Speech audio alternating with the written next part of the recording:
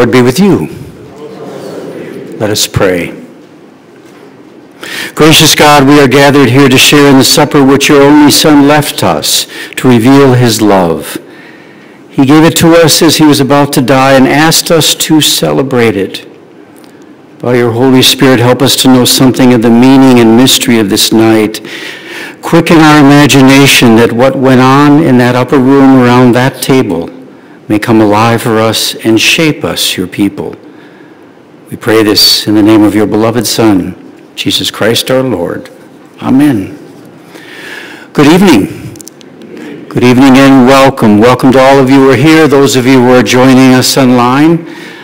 Uh, this evening, Lent comes to an end, and we gather with Christians around the world to celebrate the three days of Jesus' death and resurrection. Tonight, we remember Jesus' last meal with his disciples. In it, we are formed into the body of Christ to live in love for one another and to carry the love of God into the world that God so loves. And then we end this service anticipating tomorrow, Good Friday. My thanks to all of you for your presence here this night. We continue with the hymn.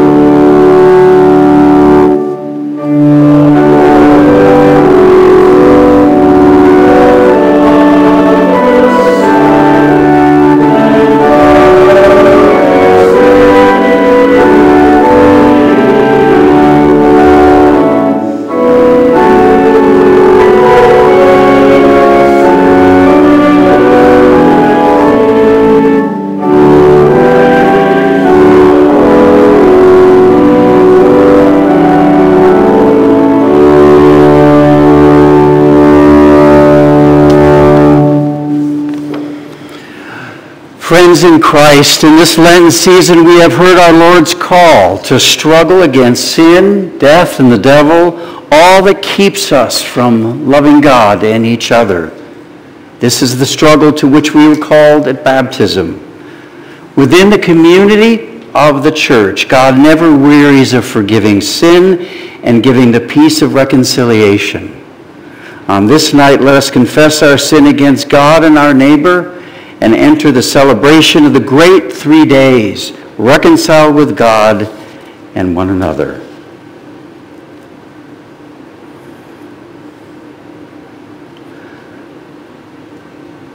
Most merciful God, we confess that we are captive to sin and cannot free ourselves. We have sinned against you in thought, word, and deed, by what we have done and by what we have left undone. We have not loved you with our whole heart. We have not loved our neighbors as ourselves. For the sake of your Son, Jesus Christ, have mercy on us. Forgive us, renew us, and lead us, so that we may delight in your will and walk in your ways to the glory of your holy name. Amen. At this time, you are welcome to come forward for an individual absolution. Please come by the center aisle to one of two stations here at the chancel. All are welcome.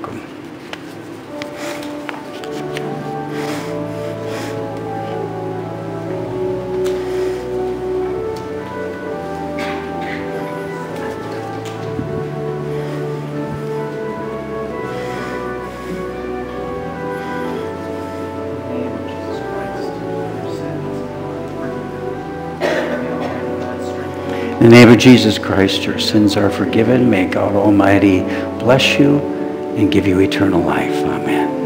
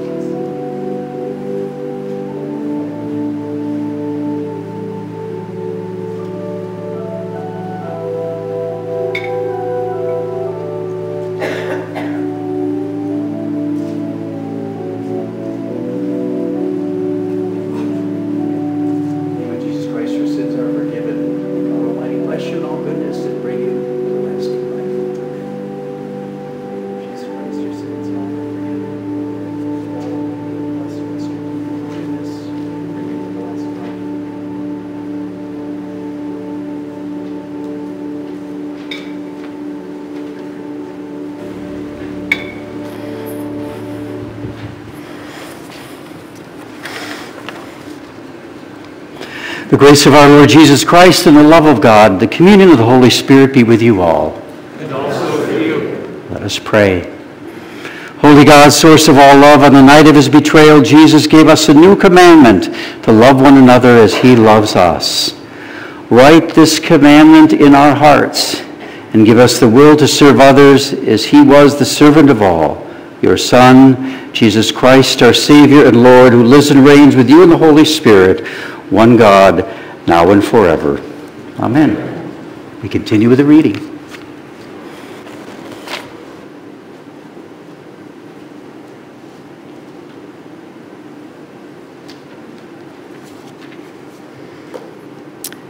A reading from Paul's first letter to the Corinthians. For I received from the Lord what I also handed on to you, that the Lord Jesus, on the night when he was betrayed, took a loaf of bread, and when he had given thanks, he broke it and said, This is my body that is for you. Do this in remembrance of me. In the same way, he took the cup also after supper, saying, This cup is the new covenant in my blood. Do this as often as you drink it in remembrance of me. For as often as you eat this bread and drink the cup, you proclaim the Lord's death until he comes. The word of God for you, the people of God.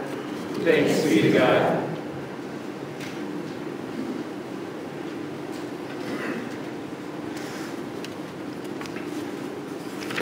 The Gospel according to John. Now, before the festival of the Passover, Jesus knew that his hour had come to depart from this world and go to the Father. Having loved his own who were in the world, he loved them to the end. The devil had already put it into the heart of Judas, son of Simon Iscariot, to betray him. And during supper, Jesus, knowing that the Father had given all things into his hands, and that he had come from God and was going to God, got up from the table, took off his outer robe, and tied a towel around himself. Then he poured water into a basin and began to wash the disciples' feet and to wipe them with a towel that was tied around him. He came to Simon Peter, who said to him, Lord, are you going to wash my feet? Jesus answered, You do not know now what I am doing, but later you will understand. Peter said to him, You will never wash my feet. Jesus answered, Unless I wash you, you have no share with me. Simon Peter said to him, Lord, not my feet only, but also my hands and my head. Jesus said to him, One who has bathed does not need to wash except for the feet, but is entirely clean. And you are clean, though not all of you. For he knew who was to betray him. For this reason he said, Not all of you are clean. After he had washed their feet, had put on his robe, and had returned to the table, he said to them, Do you know what I have done to you? You call me teacher and Lord, and you are right, for that is what I am. So if I, your Lord and teacher, have washed your feet, you also ought to wash one another's feet. For I have set you an example, that you also should do as I have done to you. Very truly I tell you, servants are not greater than their master, nor are messengers greater than the one who sent them. If you know these things, you are blessed if you do them. Now the Son of Man has been glorified, and God has been glorified in him. If God has been glorified in him, God will also glorify him in himself, and will glorify him at once. Little children, I am with you only a little longer. You will look for me. And as I said to the Jews, so now I say to you, where I am going, you cannot come. I give you a new commandment, that you love one another. Just as I have loved you, you should also should love one another. By this everyone will know that you are my disciples, if you have love for one another. The Gospel of the Lord. Praise to you, O Christ. We heard it from St. Paul, for as often as you eat this bread and drink this cup, you proclaim the Lord's death. We have a friend, a person of faith, who uh, for years would never receive Holy Communion. I knew that she carried some burdens I could never know. Still, I'd look out from the lectern and see her sitting in the back of the church, and I'd wait, looking out at her, hoping that this would be the Sunday she would get to her feet, come forward, hear the words, the body of Christ given for you, the blood of Christ shed for you. It sounds so simple, doesn't it? Coming forward, taking the bread and the wine in your open hands. But she wouldn't. She couldn't. At first, I thought the reason was that she was of a different Christian denomination, that that was it. Her church and our church didn't agree about the makeup of the bread and wine, that we were, were part of that long back and forth discussion about whether these ordinary things were the real body and blood of Christ or not. But I was thinking that it was more complicated than that for her. Some of you may be aware that an even older division exists. Not over the makeup of the bread and wine, but over this piece of furniture on which the bread and wine are set. It is this. Shall we call this right here an altar or a table? Is this the Lord's Supper or is it the sacrifice of the Mass? When the people of God take part in this small, meal, do we, do we gather around something that resembles a kitchen table right here or a butcher block? I think our friend's instincts told her that there was something big and something powerful behind this piece of furniture that she understood and I did not. Altar or table? A table is more accessible than an altar. The table is a place of napkins and place settings, a place for conversation and laughter. The table is a place for good manners and warm hospitality, a receptive and a close God. The altar on the other hand, is a mysterious place of sacrifice, of life and death matters. An altar recalls a priest in a temple at Passover, knife in hand, preparing to slit the throat of some beast. The altar is mixed up in the squeals of dying animals and blood flowing down the steps. There's talk of sin and death and sacrifice before a distant and demanding God. But it occurred to me that even the table, this place of joy and manners, is also a place of sacrifice. Where did that chicken come from that I ate for lunch today? In a different time, our relatives prepared dinner by going into the backyard and cornering a hen, wringing its neck, and plucking its feathers. Back then, we couldn't so easily forget that something had to die. The blood had to be spilled for us to even eat Sunday dinner. Life-giving food is not on our tables without death and sacrifice, without cost and pain. But not only, uh, not only our eating and drinking, but also our Christian faith. I think there's a tendency to avoid or deny the realities of sacrifice, the cost. Let's just stick to the table and keep our conversation light and, light and cheerful. Talk about the good. The altar is for brass candlesticks and flowers, not, not for broken bread or broken bodies. But then,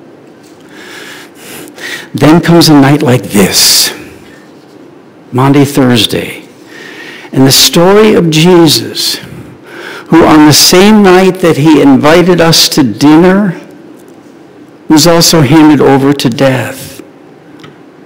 And then we know Paul was right. Every time we eat at this table, we also gather before the altar where he died.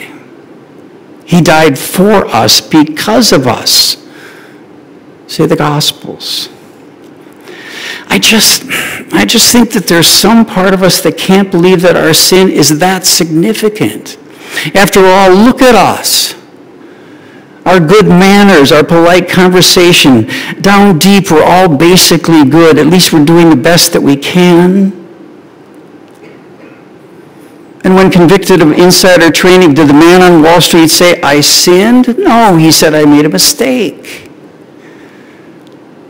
When the president of Russia defends a war against Ukraine saying it's unavoidable, unavoidable. When a, when a university athletic director was answering for under-the-table payments to athletes, he didn't say, Lord, have mercy. He said, look, we got caught. Everybody else is doing it. They didn't repent. They apologized. And of course, they are mostly like me. Me, I don't make, I don't sin. I make mistakes. I don't confess, I apologize. Who cares as long as nobody gets hurt? Everybody else is doing it. It's all unavoidable. I didn't mean for it to work out this way. The therapists tell us not to feel guilty. Who needs guilt? And still, still, in my better moments, I know that all to be a lie. My sin may seem petty. It may seem ordinary, but it does have consequences. My actions, even the best of them, come with mixed motives and self-interest infects all I do. Even my love is often just my ego in action. Can, so can I dare look truthfully in the mirror for more than seconds? When I step on the scale at the doctor's office and the nurse asks me if I want the result, I haven't said yes for years. I don't want to know. But there are moments. Carlyle Marney, an old Baptist preacher, told about the day his wife Elizabeth saw him off on some speaking event. And handing him his coat, saying to him, You don't do all you do because you love God. Marney replied, If you're so smart, tell me why I do what I do. She said to him, Because you're vain, you're egotistical, selfish, and pompous. Marney left. He had a nervous breakdown. Got it back together by the time we reached Denver, called Elizabeth and said, Damn you, Elizabeth, you're right. Just peeled away the surface of politeness and good manners, strip off our self-justification and rationalization, expose ourselves to an all-knowing God, and even the best of us will cry out, Lord, have mercy. Our sin, my sin, is not cheap. Somebody pays. The people who love me, trust me, pay every day. And if I stop to add it all up, the pain I've caused, the wounds I've offended, let down, known and unknown, who could pay? How in God's name could I even begin to set it all right? I'm always in the red so far as my balance sheet with others goes. To love me, to set things right with me is costly. I can never come up with enough to bridge the gap between God and me, to heal the division between my neighbor and me. Somebody has to suffer to love someone like me. It will cost a lot to set me right. And so my salvation, my, my hope, dare I say yours, requires sacrifice. There never has been any kind of love that didn't require risk and pain and cost. especially if God set out to love someone like me. If this is a table of love, it also, also must be an altar of sacrifice and pain. God knows what it could cost to love us. And tomorrow, Good Friday, we'll be reminded once again. Did you notice in the gospel? There is no Passover supper in John's gospel. There is a meal, yes, but the Jewish Passover was the next night. When Jesus gets up from his final meal to wash his friends' feet here in John's gospel, there's no blood sprinkled on the doorpost of the upper room, no bitter herbs on the table. In John, Jesus never takes a cup of wine, blesses it, and passes it on to his friends, saying, drink from this, all of you. No, there is no Passover meal in John's gospel. In John's gospel, the Passover falls on Friday, not Thursday. Jesus dies on the cross as the Passover begins. In other words, Passover is served on a tree instead of a table. His body is the lamb. His blood is the wine. The writer of Hebrews says, we have a perfect sacrifice offered once for all, we have an altar. We have an altar. We have a big altar which makes it possible for us to be God's people at a table.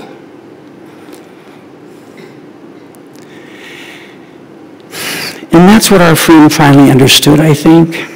She finally knew she knew how much suffering and sacrifice had gone into making this table possible.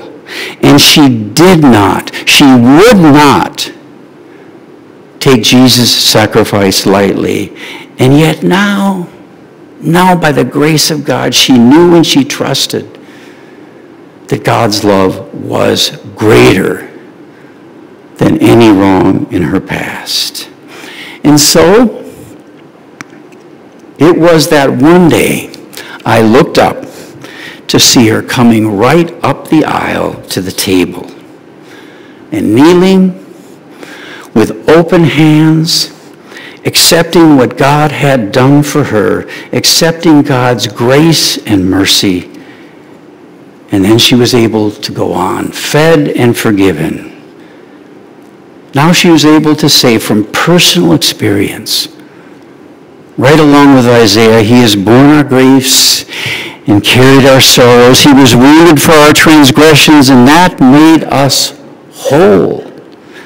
And with his wounds we are healed. Once and for all, for herself, for everyone, for you and for me this night the body of Christ given for you, the blood of Christ shed for you. Thanks be to God. Amen.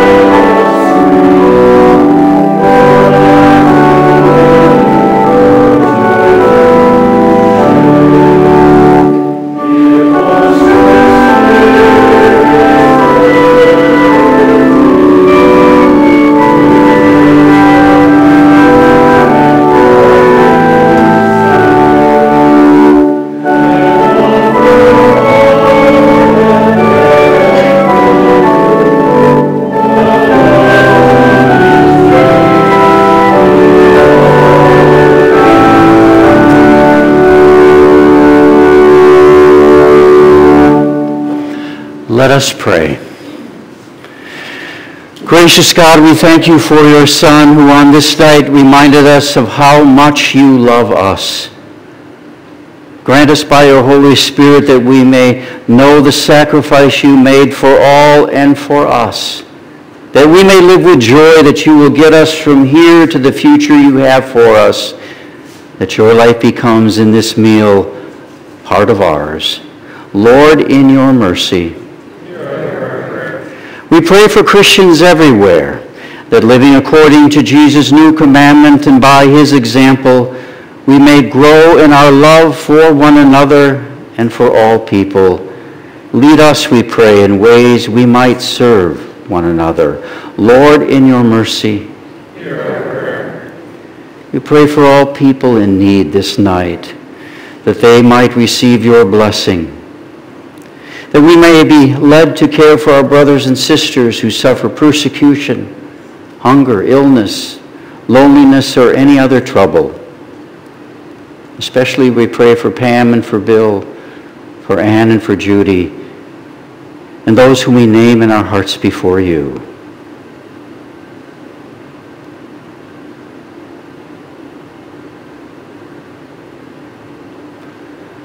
Lord, in your mercy, we give thanks for all the saints, all those dear to us who now rest from their labors, those whom we name in our hearts before you.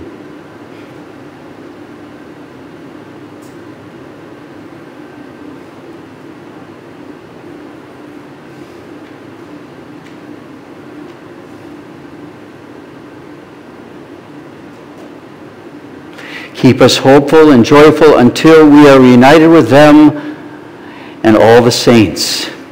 Lord, in your mercy, we lift our prayers to you, O God, trusting in your abiding mercy. Amen.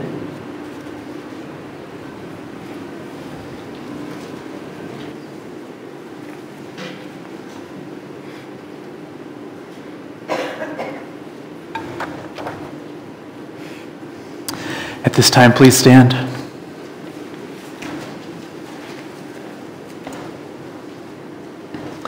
The Lord be with you. And also with you, Lift up your hearts. we lift them to the Lord. Let us give thanks to the Lord our God. It is right to give him thanks and praise. Holy God, you alone are holy. You alone are God.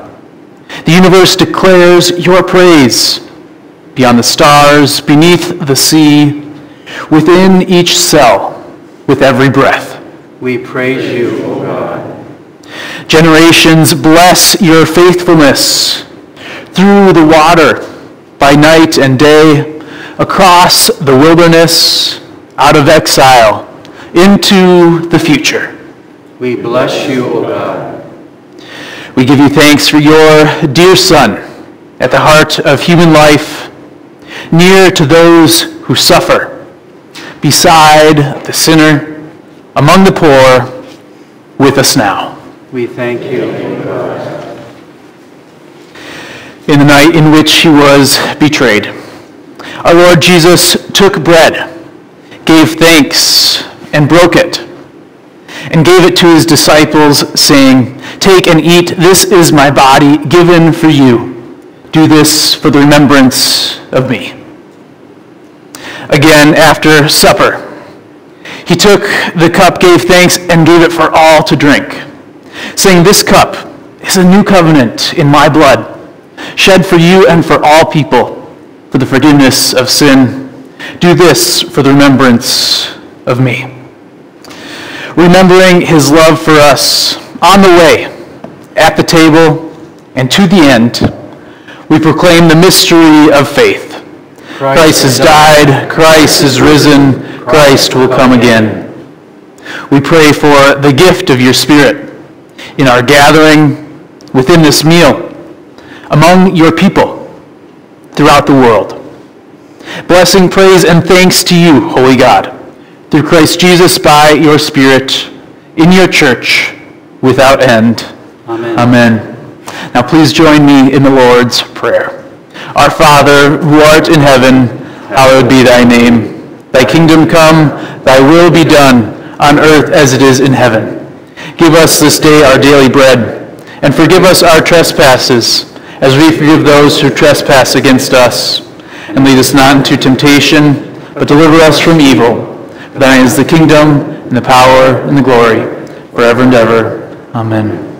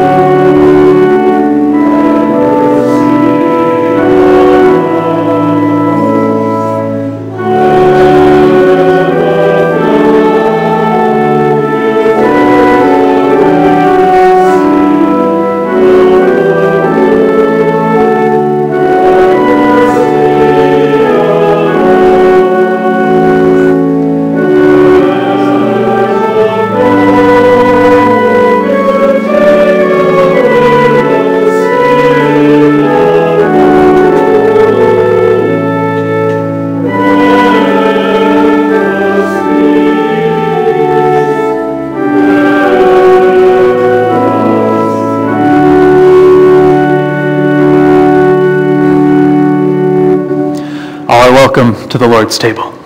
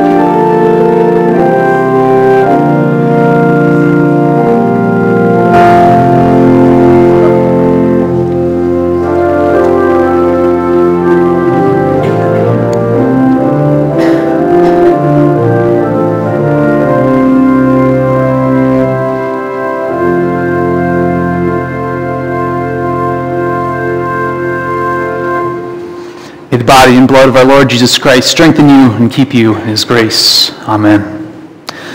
Let us pray. Lord Jesus, in a wonderful sacrament, you strengthen us with the saving power of your suffering, death, and resurrection. May this sacrament of your body and blood so work in us that the fruits of your redemption will show forth in the way we live. For you live and reign with the Father and the Holy Spirit, one God now and forever. Amen.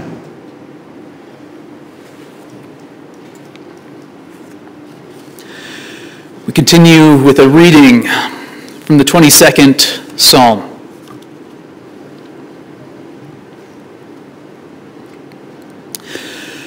My God, my God, why have you forsaken me? Why are you so far from helping me, from the words of my groaning? Oh my God, I cry by day, but you do not answer, and by night, but find no rest. Yet, yet you are holy, enthroned on the praises of Israel. In you, our ancestors trusted. They trusted, and you delivered them. To you they cried and were saved. In you they trusted and were not put to shame. But, but I am a worm and not human, scorned by others and, and despised by the people. All who see me mock at me. They make mouths at me, they shake their heads. Commit your cause to the Lord. Let him deliver. Let him rescue the one in whom he delights. Yet, it was you who took me from the womb. You kept me safe on my mother's breast. On you I was cast from my birth, and since my mother bore me, you have been my God. Do not be far from me, for trouble is near and there is no one to help. Many bulls encircle me. Strong bulls of Bashan surround me. They open wide their mouths at me like a ravening and, and roaring lion.